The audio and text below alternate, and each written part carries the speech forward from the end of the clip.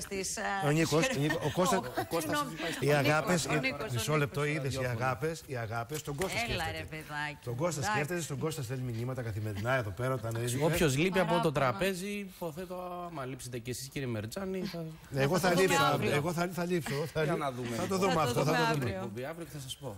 Να πάρουμε Λοιπόν. πάσα από αυτό που σταματήσαμε, Μάριον. Ναι, ε, ξεκινά. Ναι, ναι. Γερμανία. Δεν είναι καλό να υπάρχει αστάθεια στη Γερμανία. Δεν μιλάω για την Ευρώπη, μιλάω για εμάς. Ναι, κοιτάξτε, είναι σαφές.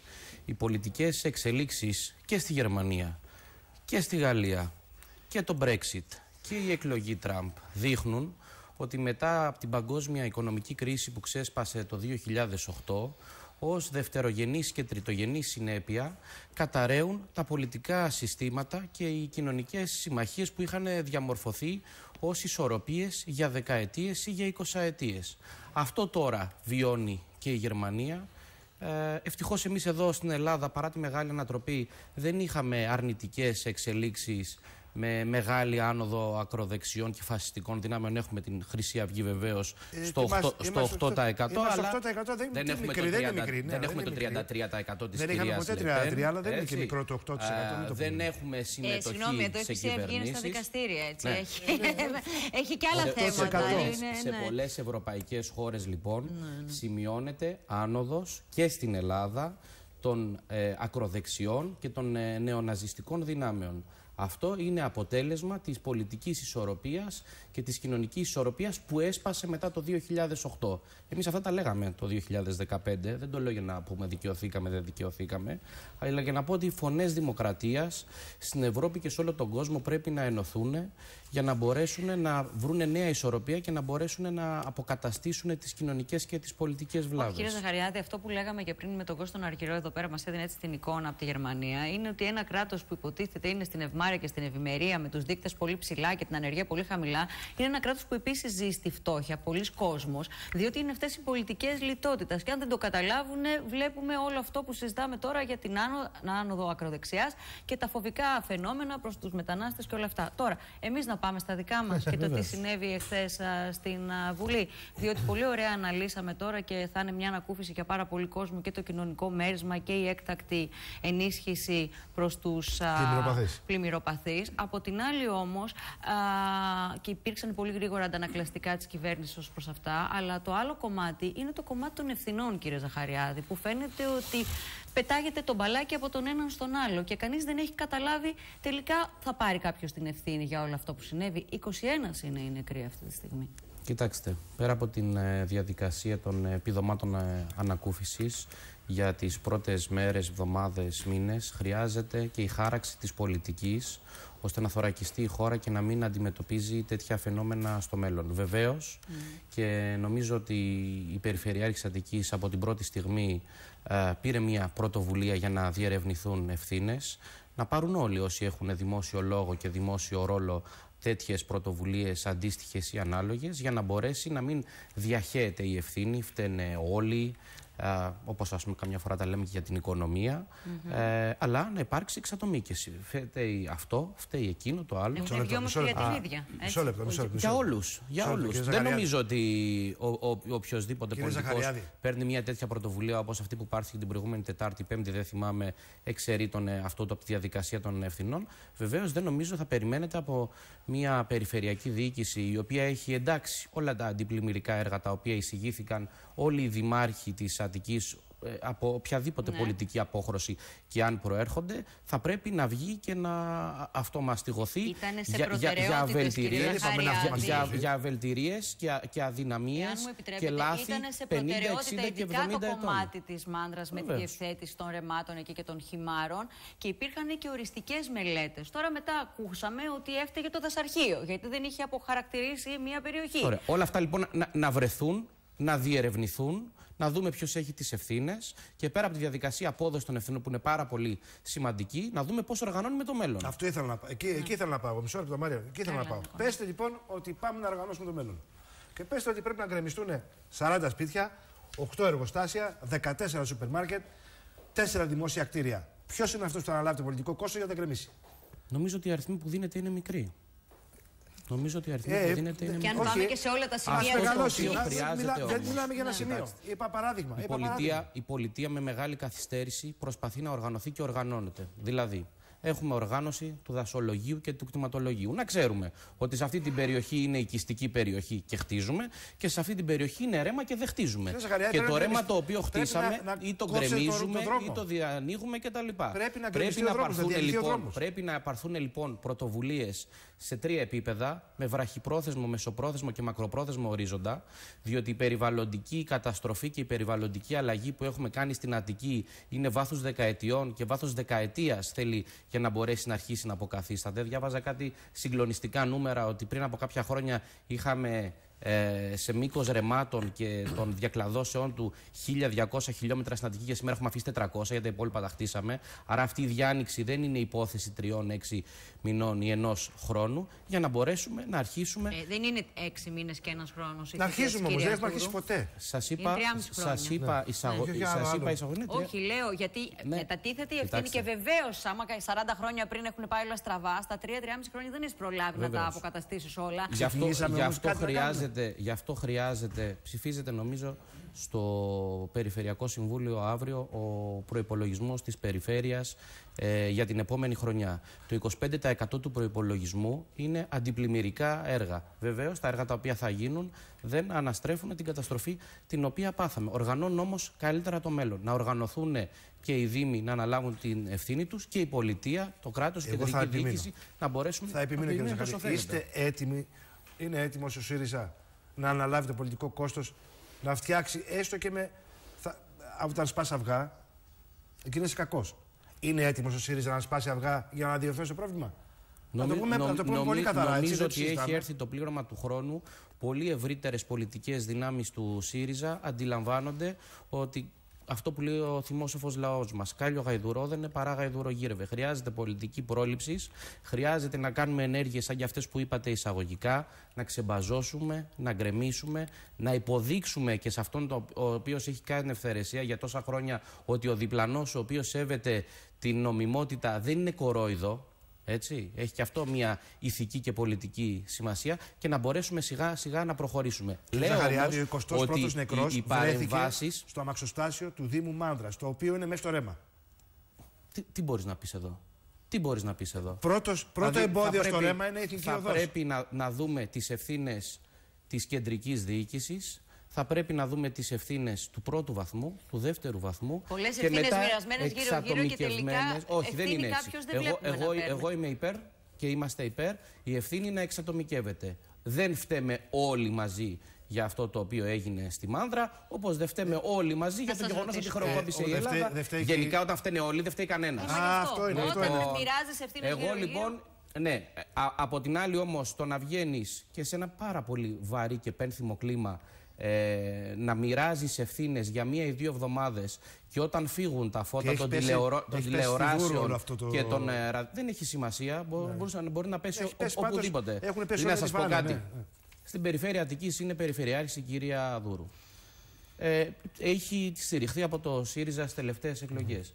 Στην περιφέρεια που έγιναν οι πλημμύρες ε, στην, ε, στην περιφέρεια ε, κεντρικής Μακεδονίας που έγιναν ε, ε, οι, οι πλημμύρες στην Πιερία, εκεί δεν είναι περιφερειάρχης του ΣΥΡΙΖΑ. Οι άλλες καταστροφές που γίνανε στη Σαμοθράκη, εκεί δεν είναι τους ΣΥΡΙΖΑ. Λέω λοιπόν να ξεφύγουμε από αυτή τη λογική. Α, Είναι του ΣΥΡΙΖΑ, δεν είναι του ΣΥΡΙΖΑ, είναι της Νέας Δημοκρατίας, κάποιος μπορεί να είναι ε, της κεντροαριστεράς κτλ. Να δούμε τα πραγματικά προβλήματα, να αφήσουμε τη σχετική αυτονομία που έχει η διάκριση των εξουσιών σε πρώτο, δεύτερο βαθμό της αυτοδιοίκησης και κεντρική διοίκηση, να πάψει το πολιτικό πινκ-πονγκ και να μην ξεχάσουμε αυτούς τους ανθρώπους όταν φύγουν τα φώτα της δημοσιότητας και οι κάμερες από την περιοχή. Και να μπορέσουμε στον ορίζοντα που σας είπα, του χρόνου, τη- του μεσαίου διαστήματος και του δεκαετούς διαστήματος να δημιουργήσουμε όρους και προποθέσει ώστε να μην έχουμε αντίστοιχα φαινόμενα στο μέλλον. Αυτή νομίζω ότι είναι η πολιτική που πρέπει να ακολουθήσουμε, η θωράκιση, η προστασία, η πρόληψη, παρά να Παρ' ερχόμαστε όλα και αυτά, να κύριε μαζεύουμε τα Ζαχαριάδη, δεν σπασμένα. βλέπουμε και κανέναν ποτέ όταν γίνονται τόσο σοβαρά θέματα. Δεν μιλάμε και- για τώρα, έτσι. Μιλάμε, είναι διαχρονικό Εγώ το σας είπα για πρόβλημα. τρεις διαφορετικές περιφέρειες Ναι, εγώ- τώρα οι εγώ οποίες θέλω έχουν να πάθει ρωτήσω φυσικέ κάτι άλλο. καταστροφές. Εγώ θέλω να ρωτήσω κάτι Έχουν άλλο, πέσει τη όλοι δική πάνω σας- στη Δούρου. τη δική τα- σας Των άποψη, αλλωνών τα ονόματα ούτε ξεφεύγοντας- που τα ακούω. Λίγο. Τα ακούτε εσείς τα ονόματα των άλλων περιφερειάρχων, κυρία Μιχελιδάκη.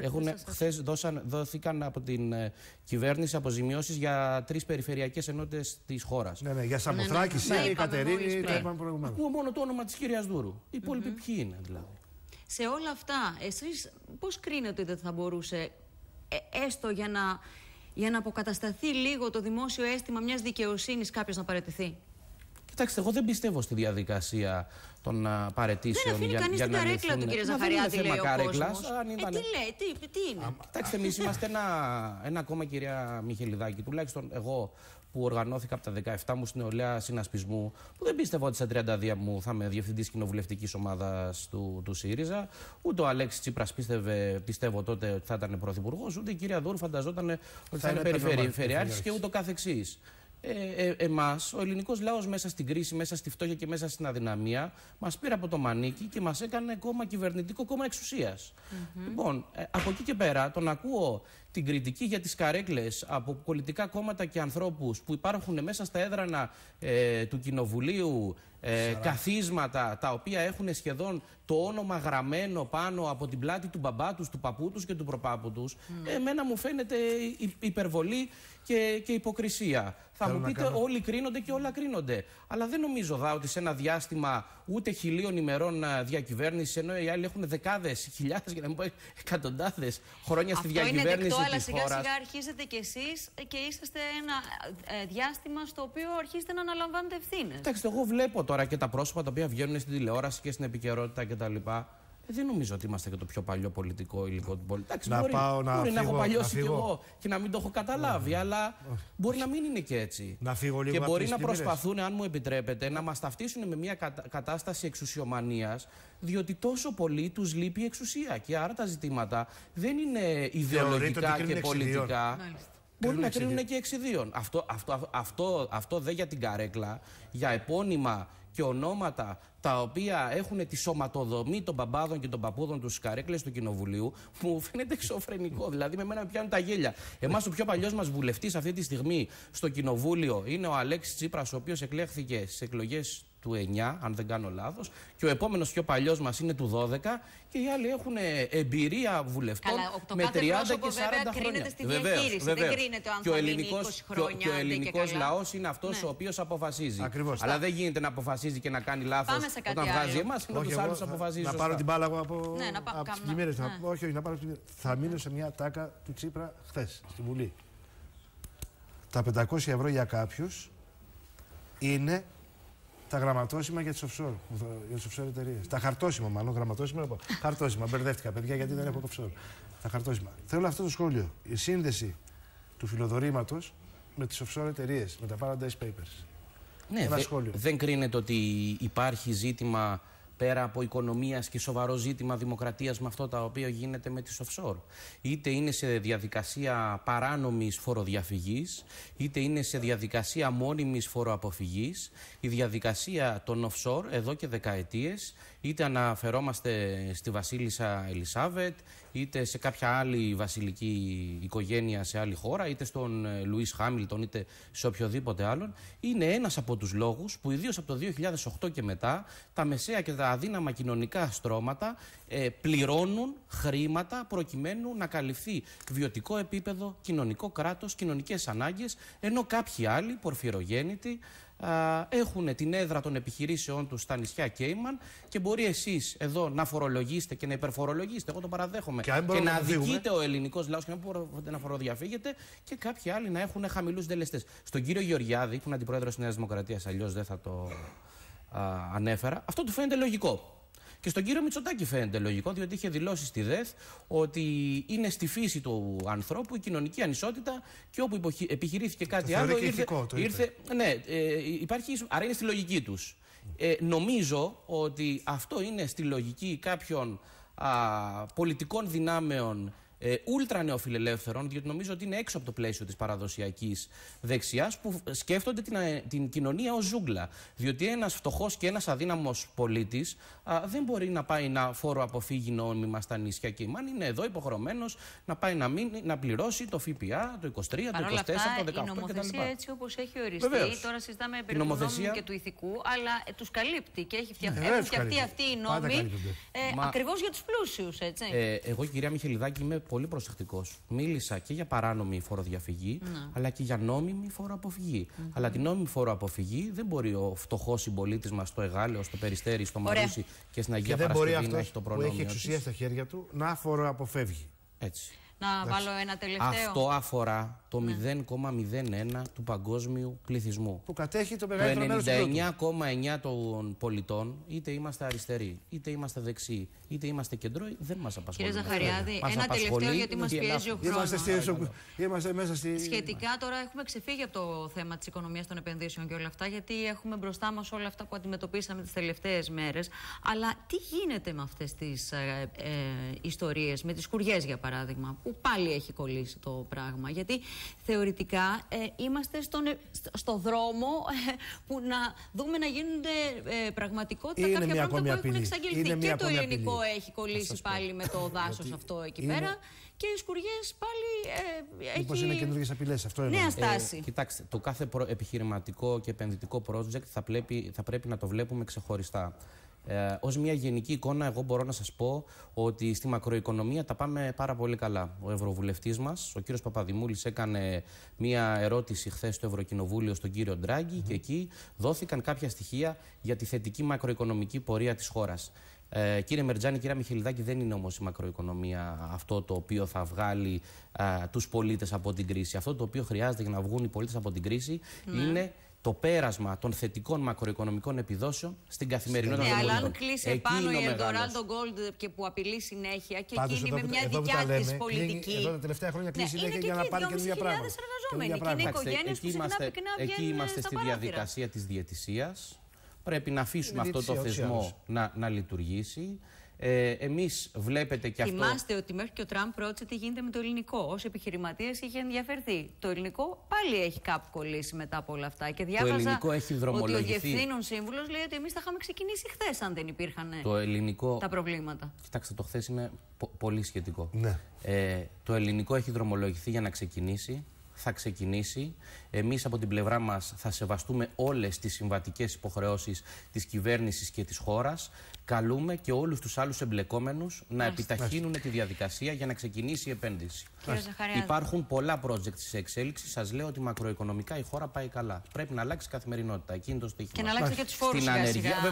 Βεβαίως, αλλά να σας πω ναι. κάτι, κυρία Μιχηλιδάκη, σε, ένα, σε πολύ σύντομο χρονικό διάστημα να αποκλιμακώσουμε τους φόρους. Να μην γκρεμίσουμε όμως ό,τι έχει απομείνει από κοινωνικό κράτος και πάμε να το ανασυγκροτήσουμε, να μην ζήσουμε σε κοινωνική ζούγκλα. Μάλιστα. Διότι εγώ ρωτάω τη Νέα Δημοκρατία για να κάνει αυτά που λέει με τις αλλαγές των φορολογικών συντελεστών, πού θα βρει τους ισοδύναμους οικονομικούς πόρους, πού το έχει συζητήσει και πού θα τους καλύψει. Συζητάμε προπολογισμό σε λίγες εβδομάδες στη Βουλή. Τους προκαλώ και τους προσκαλώ να καταθέσουν προτάσεις και αν είναι σωστές κοστολογημένες και αποδεκτές, εμείς κάποιες μπορούμε Κύριε να τι Ζαχαριάδη, ευχαριστούμε πολύ. Ευχαριστούμε πολύ. Εγώ ευχαριστώ για τη φιλοξενία. Ήταν ενδιαφέρουσα συζήτηση.